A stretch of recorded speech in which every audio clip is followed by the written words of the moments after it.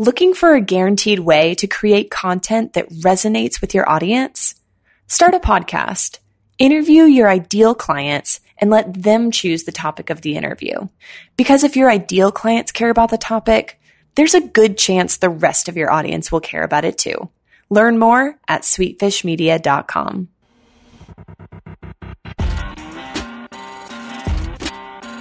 You're listening to the B2B Growth Show, podcast dedicated to helping B2B executives achieve explosive growth. Whether you're looking for techniques and strategies or tools and resources, you've come to the right place. I'm Jonathan Green. And I'm James Carbary. Let's get it into the show.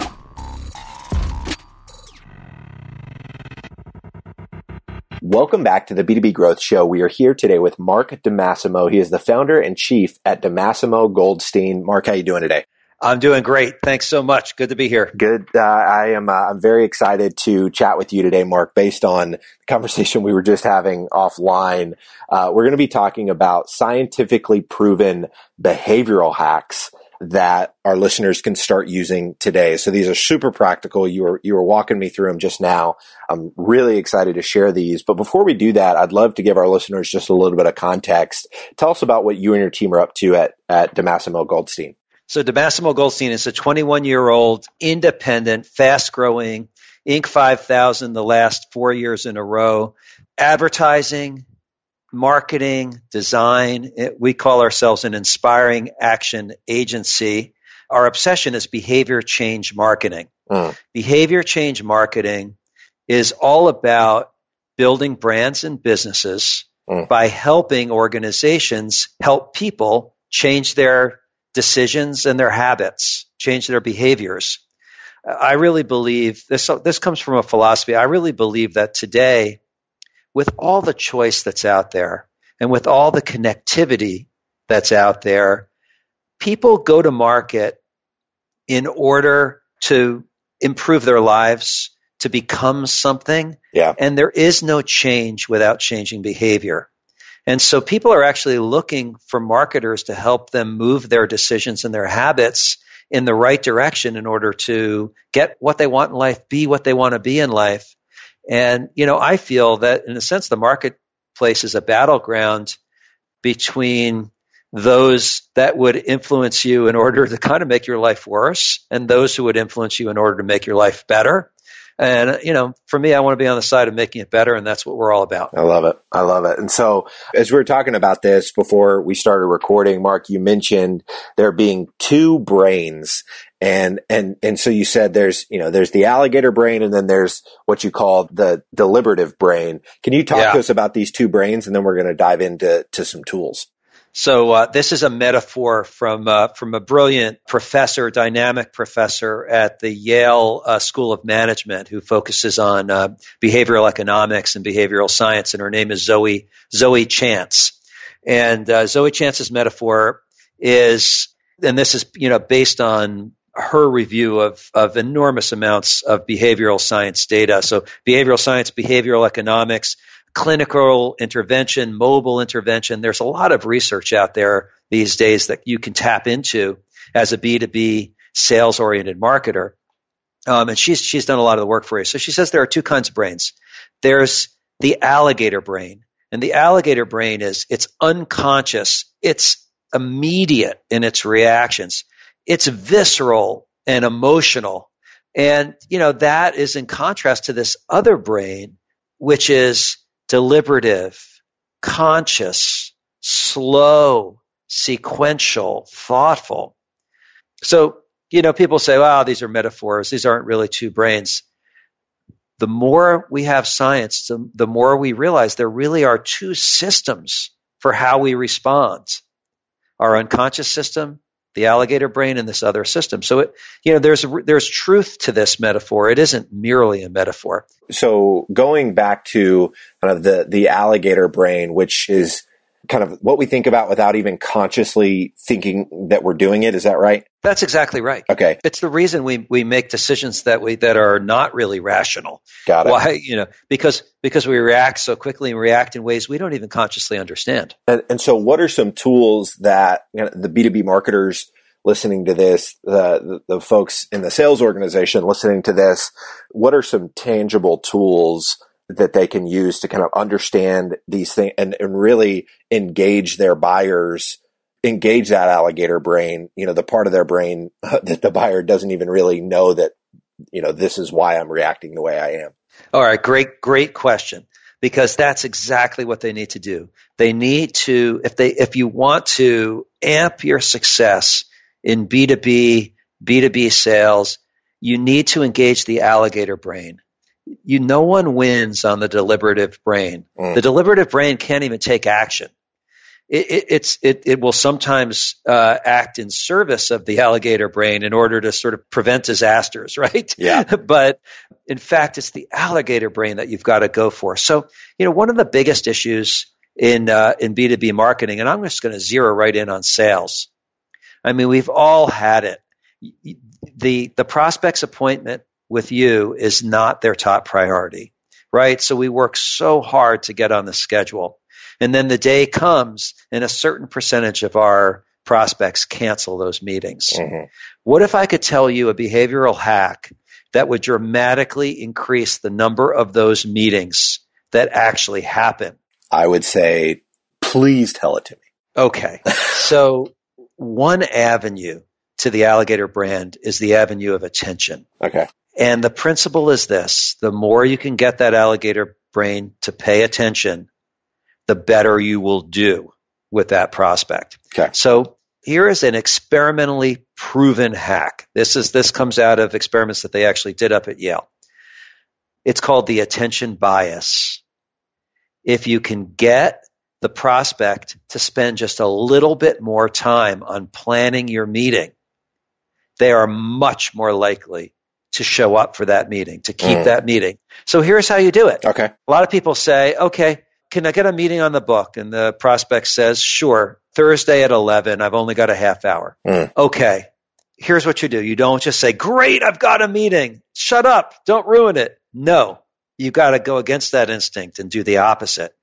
You have to respond and say, I want to be clear on where we're meeting. So, okay, now they have to respond about where they're meeting. Can you tell me a couple of other things?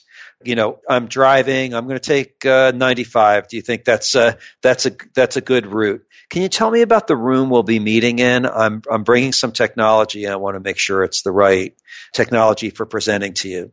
Mm. I'm not saying you, there, there's there's there's probably a, a level of onerousness that you don't want to get to, but my point is, if you can engage them in the details and get them to spend just that little bit more time, they will have paid more attention they will have felt as if they've invested in that meeting. The alligator brain thinks this is important unconsciously. This must be important. I've devoted some time to it and attention. They're much more likely to keep the meeting. I love it. So by captivating that attention, getting them to commit so, some of their own brain power early on, the likelihood of them canceling later goes goes down significantly. This next tool that you mentioned to me offline, Mark, is ease. Talk to us about this tool and, and how we can use it. So there's a there's a whole body of um, behavior change marketing, behavioral science, behavioral economics research on the on the effect of ease the reason I bring this up is is there there's a, there's also a lot of uh, of research on the bias of salespeople and marketers to focus on motivation. So if you think of the two sides, the two sides of, of behavior change, of sales, of marketing, as one, increasing the motivation. We just got to get this person to want it so bad that they do something about it, right? Mm-hmm. And the other side ease. We just have to make this so easy to do that it's a no brainer.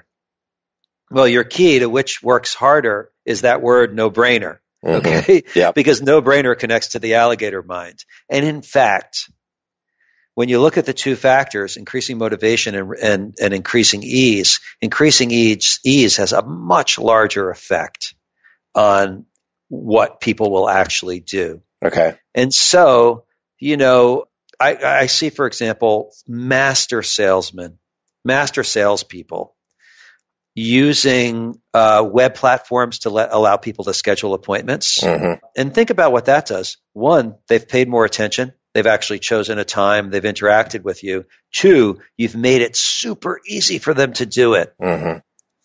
These are the masters. Okay, that's Got so. it. So I would say just if if you uh, one famous piece of research is uh, they wanted to get people in cafeterias to eat more salad.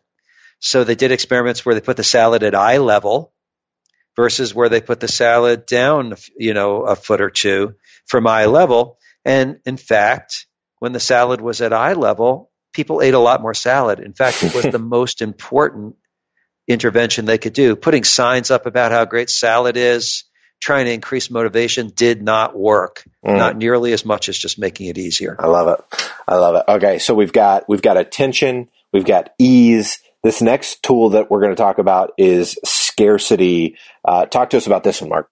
Yeah, scarcity.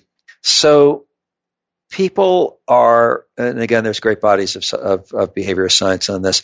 People are much more motivated by avoiding a loss than they are by creating a gain. Now, you know, that sounds okay. I can sort of get this, but you know, when you, when you think about the implications of this, it gets really weird.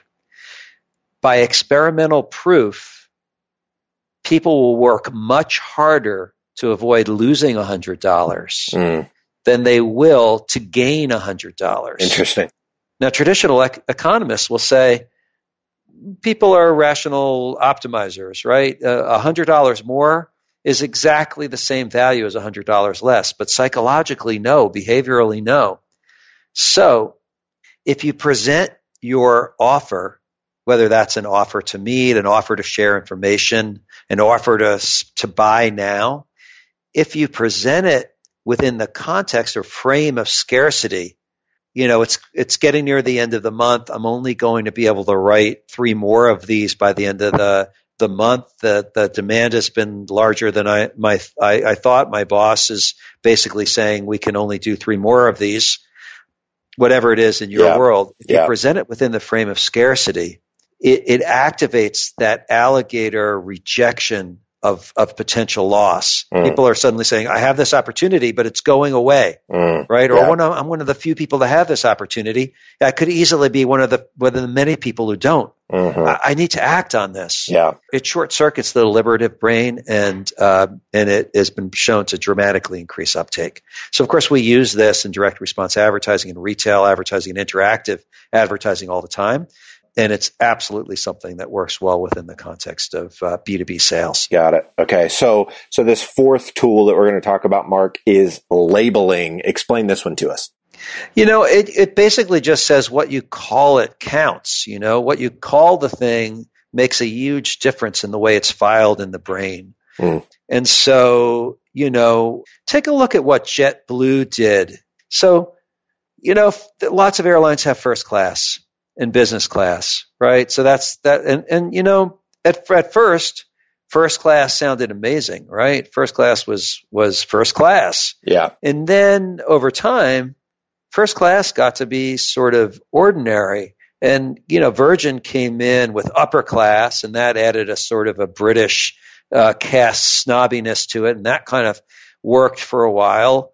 So now there was first class, business class, and, and uh, upper class. When JetBlue tried to solve the problem of how do we create this really special experience, but do it in a more American, more sort of democratic, you know, uh, more sort of internet era uh, way, they went a whole different direction with their naming and they called it Mint. Mm, And, you know, Mint, so imagine the alligator brain with Mint. You have immediate sort of scent associations, right? It's, you maybe maybe you smell the freshness of mint um, again in your unconscious alligator brain. Maybe you think of a mint automobile, right? And that you know that sheen, that shine. You know, maybe you think of a newly minted coin, currency, or whatever. So the label itself adds value, and we see this in experiments. I mean, not only are people more likely to buy, but people will pay a premium there is no such thing as a commodity, Mm. right? The label can change the value for people. The scarcity, the ease, the attention, it all can change the value for people. And so, so how does that, you know, for, for a B2B company, does that mean changing, you know, the names of their, uh, how they label their products and services? Is it, is it deeper than that? Yeah, I think it is deeper than that. I think, I think ultimately you really want to think through the entire journey of the prospect. Okay. And not only that, because we need to motivate our, our partners and our salespeople too in, in B2B sales, right? Mm-hmm. So think about their journeys as well. And, you know, there, there could be a good argument about where's the most important place to start. I tend to like to start with, with our, with I, who I, the people I think of as the, as our ambassadors, our advocates. I would start with the employees and the salespeople. But either way, you think of the whole journey and you think about the way your competitors are naming things throughout the journey and you have the opportunity to relabel. Think very carefully about it. So, you know, we're a company that's about growth through behavior change marketing. So, you know, we don't have a strategy as many agencies do, right? What we have is a theory of growth and a behavior change strategy. Mm. So it's easy to step back and say, oh, well, that's BS. It's just the same thing. Well, actually, no. I mean, we're, we're studying, we're learning. Our aspiration is to make it as different as we possibly can. But the truth is, at the, at that alligator, you know, level of brain, uh, it doesn't matter. Mm. The label makes everybody respond differently you know, finally, I just saw research. This was brought up to me by my 10 year old son who's reading the New York Times science section. And they've, they've now actually found out that you literally taste wine differently when it is in a different shaped glass. Interesting. So behavior science had proven that you, you think you taste it differently, but brain science has now proven that you actually taste differently when the glass is a different shape. Hmm. Your beliefs actually affect the part of your brain that tastes. Huh. So, so sen- even sense isn't sort of one channel. It's not directly from your mouth to your brain, and that's taste. No, taste is a function of belief. It's a function of your multiple senses hmm. as well. So, in fact, labeling and every other way you can affect the sensory experience of your salesperson, of your prospect, makes a huge difference. Makes sense. All right. Mark, this last tool we're going to talk about is urgency. Explain this one. Well, look, urgency is a variation on scarcity, but urgency, it just happens, it deserves its own category because urgency just works so well. There's something intuitive about us right? There's something intuitive about about folks. You know, maybe it's called impulse control, and mm-hmm. many of us have enough impulse control to be reasonably successful in life. So the intuition behind that is we kind of know at some level that we have an alligator brain that could get us into trouble. And so we try to slow down and engage the deliberative sequential brain. Mm. One thing that just short circuits that process like nothing else is a sense of urgency. When you can create a sense of urgency, it creates a sense of excitement in people that stimulates the alligator brain and represses the deliberative brain. And so, you know, if you basically say, I actually have a special price that I'm able to, to offer, uh-huh. but it's only available for the next 10 minutes. Could I have, you know, five minutes of your time? Or, you know, I'm under a lot of pressure in order to close up my books for the end of, end of the quarter. And so I'm, I'm able to make some deals that I would not be able to make at any other time. I don't think I've ever done this before, but we would just have to have the conversation within 24 hours. Mm. There are many ways of including urgency yeah. in your sales process that work really well. Can I give you one lucky strike extra? Yeah, absolutely. All right, just contemplate this because this is re- this is research that I just saw, which just blows me away. If you're showing the old price and the discount price, is it better to show them close together or further apart? Mm. Do you want to hmm. guess? I mean, close together, I would think. That is that happens to be what I thought and what what most marketers and experts would think.